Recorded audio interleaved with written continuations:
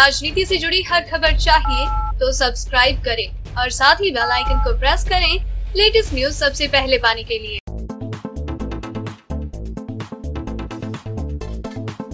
वित्त मंत्री निर्मला ने आम बजट पेश करते हुए आम लोगों से जुड़े कई बड़े ऐलान किए। इनमें एक बड़ा ऐलान बैंक खाता धारकों से जुड़ा है। बजट ऐलान के अमल में आने के बाद इसका असर देश के करोड़ों बैंक खाता धारकों पर पड़ने की उम्मीद है। आइए जानते हैं इसके बारे में।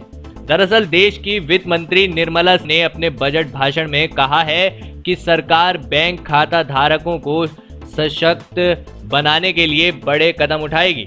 इसमें कैश डिपॉजिट से भी जुड़े बदलाव होंगे।